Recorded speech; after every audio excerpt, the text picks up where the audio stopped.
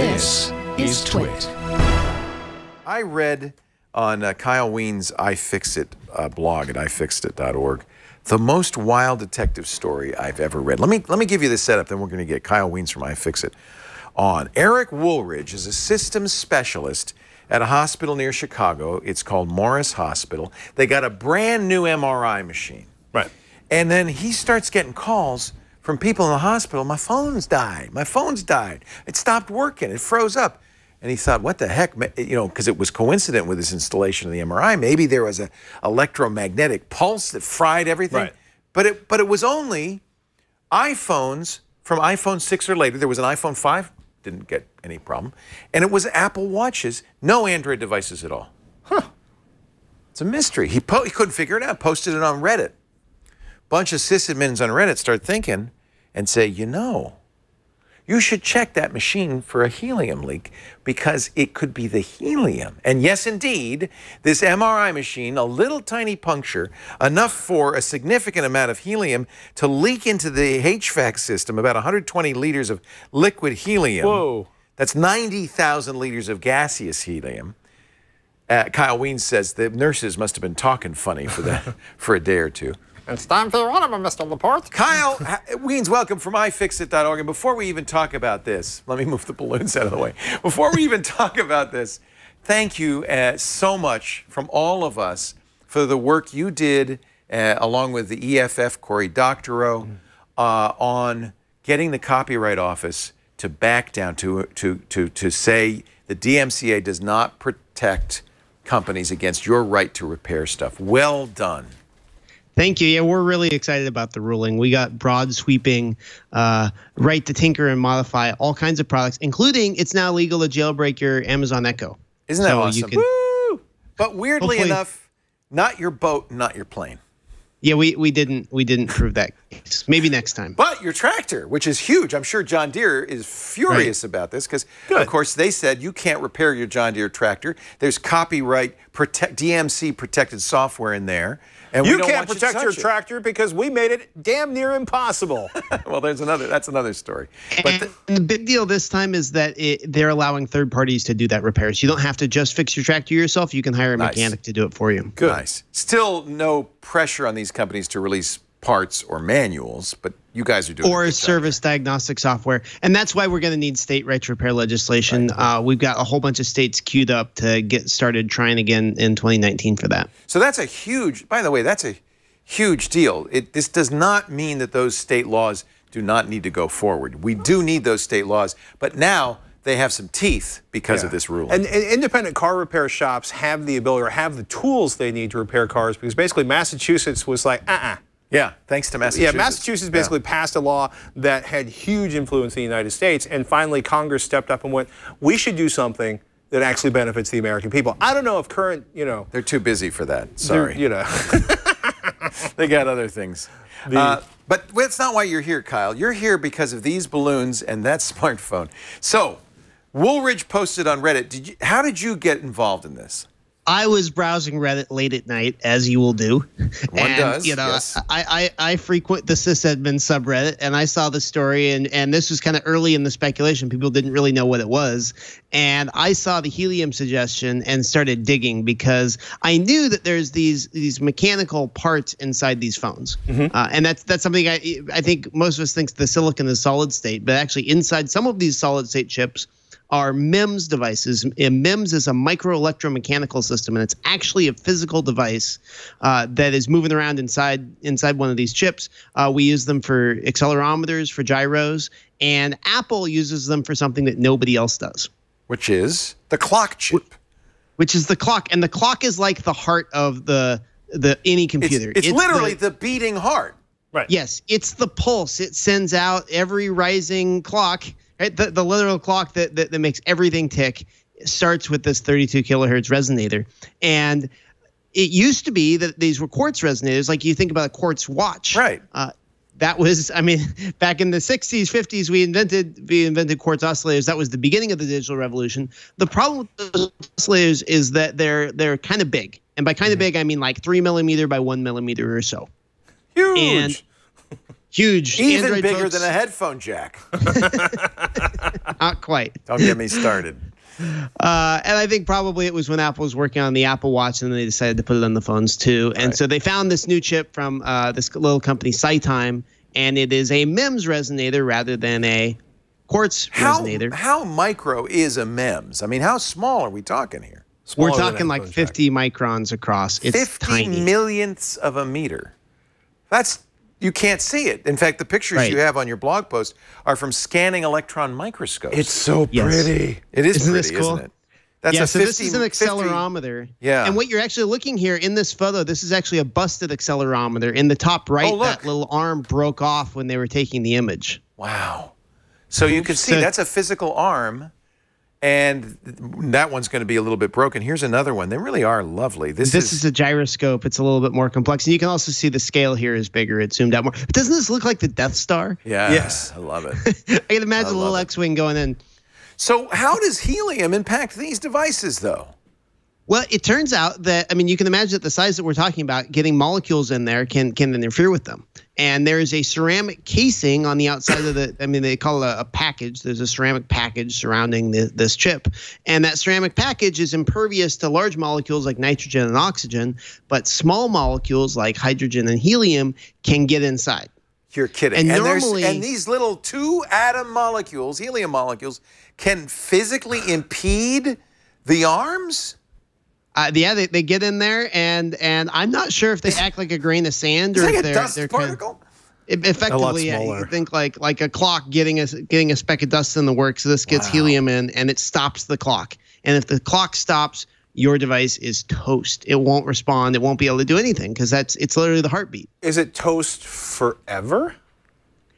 That's what's crazy is no, it's it's just toast until the helium leaves again. and so the question is, how long will it take the helium to leave again? So I did this a few days ago with a phone. I I uh, you know I've got my balloon here, and I'm I, ready. Uh, I put it in a Ziploc bag and with the phone, and it it took about five minutes, and the phone died. And then two full days later, the phone came back to life. All right, we're going to try this. Can you help There was us? no saving it. now, if I it- if I were to open Whoa, whoa, this whoa, you balloon in here, important. Did you say there was no saving it? Well, uh, uh, not for two days. okay, he had to let it air out.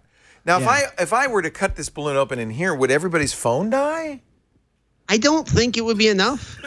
I, I feel like I feel like this would be more widely spread issue, Okay. right? Yeah, I mean, he had a lot. He had ninety thousand Like every time there was a birthday? gallons. But even All right, so, you're going to be dousing this thing in much more helium than the hospital had. I mean, even uh, you know 120 or uh, right. So Helium I'm, rises. I'm going to sacrifice two phones here. This is the iPhone 10R, brand new.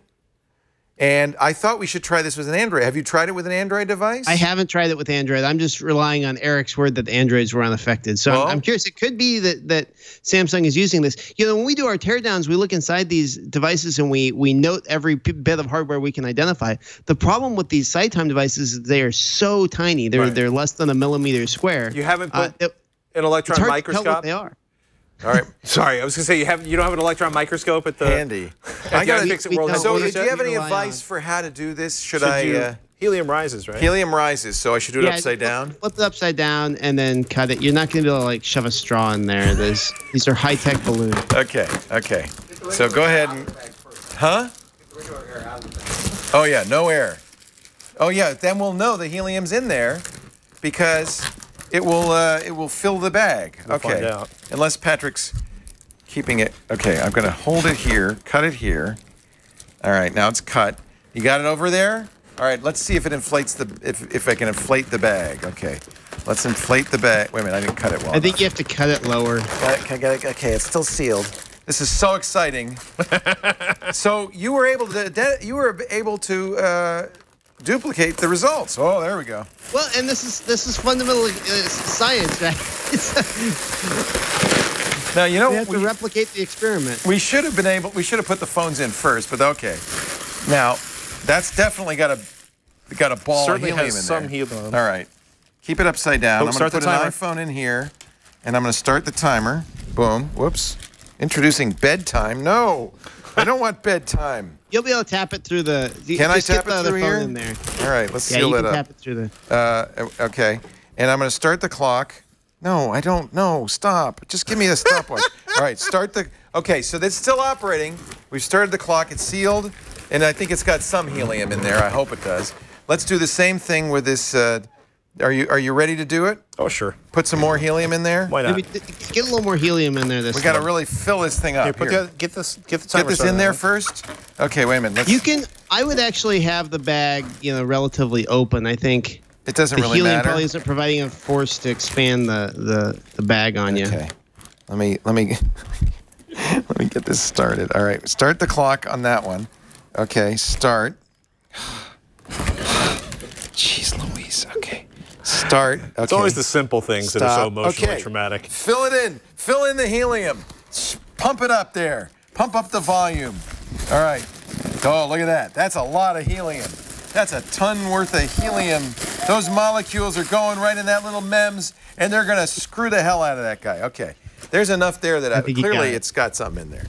All right. So what what was your experience? How long does it take to break the phone?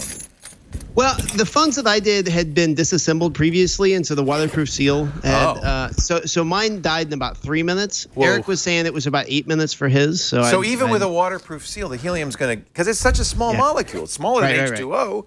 It's Much smaller than water, yeah. Yeah. So it's going to leak in there, and Right. uh, and it's going to get in. Patrick's taking a picture. Just Well, so we know what the so we know what the time was when we started them. Yeah. So the difference in Because one's at like 132 and one's at like 50. 50. But you know what? If either one of them stops, I think we'll know. We're going to have to check in later in the show. This is just one of those things where you think you know how these devices work. You know, all of us have been doing this for how long? And if I had bet you a hundred bucks that I could kill your phone with helium, you'd say, "Sure, Kyle, whatever. You're crazy." and here we are. That is uh, just yeah, and it's one. And it's one of the things that I know Patrick and I certainly we answer a lot of questions. People will come to us with just bizarre problems, and we'll just have to say, "I don't know." What I always say though is. Look, there's no magic, there's no voodoo. These are deterministic machines. There's an absolute physical cause and effect for every single thing that happens. But we just don't know why that Yeah. particular thing There- happened. If, all you need to do is search through 73 million lines of code and some of the most complex engineering ever mass produced in the history of humanity. And once you've done that, you'll certainly eventually probably find the problem. It's a testament to the power of Reddit. That's all I can say. What I love about this is you can imagine the Apple design engineers when they were picking this chip. They knew it was a vulnerability of the chip. This is in the Apple user manual. It says if you expose your phone to helium, it can it can cause it's damage. actually in the manual. Yeah. So you can imagine the trade-off, and some poor intern must have had to go out and look at like use cases of helium and figure out what are the odds, how many customers is this going to impact, and they must have decided that people installing MRI machines were enough of a small enough segment of the Apple user base that they were willing to screw them over in exchange for a little bit tinier chip. So there are people who this would be a problem for. yeah. Oh yeah, since since I published this story, I've gotten emails from like 15 different MRI techs that have all said, "Oh yeah, this happens to us all the time." Oh my so that's not unusual to have little leaks in MRI machines. when they're when they're first setting them up and calibrating them and getting them i mean because there's actually a lot of off gassing when you're when you're Yeah, lowering yeah. the temperature initially There's a lot of off gassing in here as well. Go ahead, just Well, thank you, Kyle. I appreciate uh, all you've done for all of us. On behalf of the Screen Savers, iFixit.org is Kyle's right to repair blog. iFixit.com is the site where you can get repair manuals and tools and parts for everything. Thank you, Kyle, for all the great work you've done. Including Motorola phones now. How long is my voice going to stay like this? Is my question. Forever. A- at my least whole career shot. thanks, Kyle. I love it. Thanks, Kyle. We're, we're gonna now they're still ticking. It takes a licking and it keeps on ticking. We'll keep an eye on these and see. We need to force the helium in. I think it's in there. I think it's in there. I mean, it's definitely you know into the phone. It's it's puffy. Do you think I uh, think I have enough phones? I can I can sacrifice a couple Yeah.